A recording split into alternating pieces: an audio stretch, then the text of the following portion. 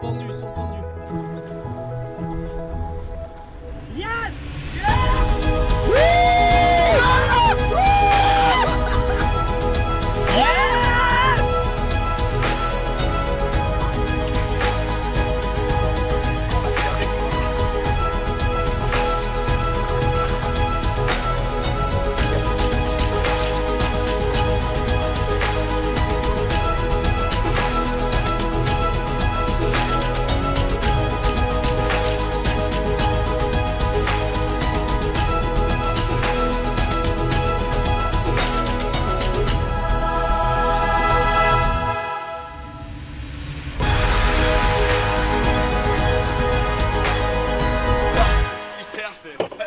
ça commence à être des poissons qui comptent.